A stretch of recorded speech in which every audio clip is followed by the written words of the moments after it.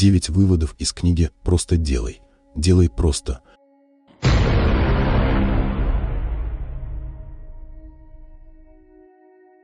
Что еще тебе нужно? Хочу начать бизнес.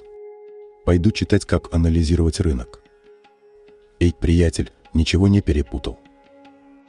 Если хочешь начать бизнес, начни. Да, я тот еще капитан очевидность, но отговорки не добьются успеха за тебя. В своей книге миллиардер Оскар Хартман буквально кричит «просто делай». Делай просто. И заодно объясняет, как помочь себе в этом процессе и на что обратить внимание. Я выбрал из книги 9 крутых выводов, которые ты сможешь прослушать всего за 5 минут. Начни с того, что не хочется. После пробуждения я теперь следую простому правилу из этой книги. Начать день с того, что не хочется. Если расправиться с трудной задачей сразу, остальные покажутся очень простыми. А это значит, ты справишься с ними гораздо быстрее, чем планировал. Попробуй. Придумай свою систему баллов. Оскар Хартман в книге «Просто делай». Делай просто. Поделился хитрой методикой продуктивности – за выполненные задачи по работе он начисляет себе баллы от 1 до 3 за каждую. А чтобы сделать то, что он любит, и не помешать продуктивности, накопление придется потратить. Например, чтобы пойти в баню, Оскару потребуется 100 баллов. Если ты придумаешь для себя подобную игру, то примерно на 20-й награде твой мозг соединит сложные рабочие задачи с получением удовольствия.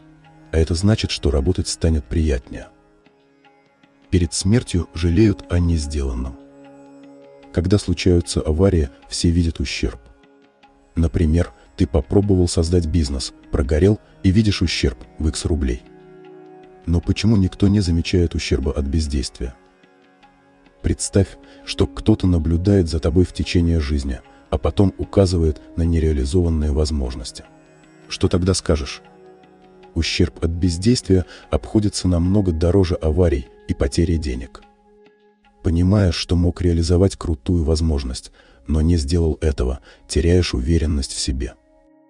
Принимая решение, задай себе вопрос, буду ли жалеть, что не попробовал. Если ответ «да», действуй. Подвинь свою точку зрения. Оскара неизлечимая болезнь. Оказавшись в месте, где такие же люди проходят лечение – он заметил старичка, который бодро вышагивал по улице с улыбкой на лице. Оскар спросил его, как можно быть жизнерадостным, понимая, что вся жизнь пройдет с заболеванием. Старичок ответил, что болезнь заставила его действовать и заниматься собственным телом. В тот момент Хартмана осенило. Он начал воспринимать свой диагноз как толчок к действию. «Надеюсь, что с твоим здоровьем все в порядке, друг», но это совсем не повод расслабляться. Подумай о том, что является толчком для тебя. Воспринимай внутренний протест как знак. Мне нравится курить. Я получаю эстетическое удовольствие, выходя на балкон с чашечкой кофе и сигаретой. Слышал такие отговорки от курильщика, или, может, сам их используешь. В моменты, когда понимаешь, что внутри зреет протест, а ты ищешь оправдание вредным привычкам, воспринимай это как знак, что пора действовать. Перед тобой выбор – оставить как есть и терпеть последствия или меняться в лучшую сторону. Что скажешь? Избавляйся от шума, но слушай сигналы. Что это значит? Например, если в порыве сбросить вес, ты начинаешь искать в интернете идеальные для бега кроссовки, ты ведешься на шум. А если добавляешь в свой график физические упражнения и отказываешься от вредной пиши, это уже сигналы. Видишь разницу? Если хочешь достичь результата, выполняй простые, но важные действия. Осталось научиться отделять шум от сигналов. В этом тебе поможет интуиция.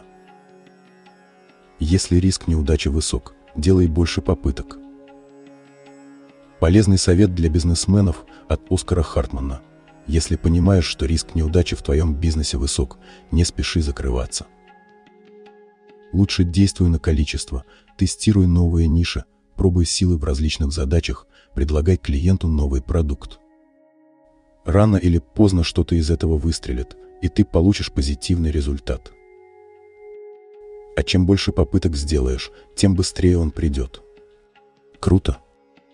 Изучи свою энергию. Хорошая цитата Оскара из книги «Просто делай». Делай просто. Каждый месяц я выделяю время на встречу с самим собой и задаюсь вопросами энергии.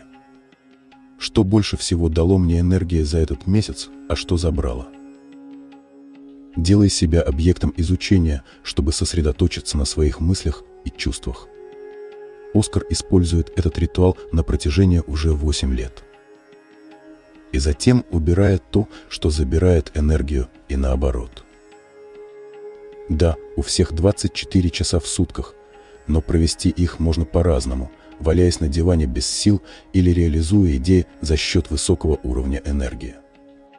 А что выберешь ты? Незнание не страшно, если действуешь. Твое текущее положение – результат действий, а не знаний. Убери убеждение о том, что нужно знать больше, стать более осведомленным в своей области, пройти новый курс. Знания – это лишь твои инструменты, а к результату приведут только действия.